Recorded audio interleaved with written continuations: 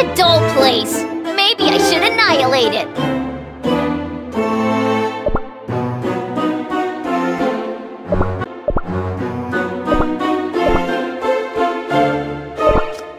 I love you all, my sweet fans! Thank you for your support!